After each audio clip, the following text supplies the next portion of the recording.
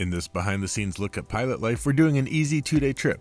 Well, two and a half days if you count the commute from my home in Minneapolis to my base in Newark. The trip started early in the morning and we were off to Las Vegas, Nevada. Center United 597, flight level 360. United 597, Chicago, Roger.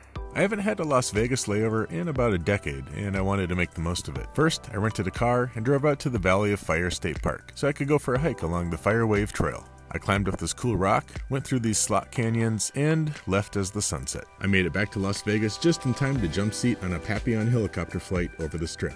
It was a quick flight, but hey, a free flight is a free flight, and I was incredibly thankful for the adventure. The next morning, it was back to Newark. Ladies and gentlemen, a very good morning from the flight deck. I'd like to welcome you aboard United Flight 1386 with service now to Newark.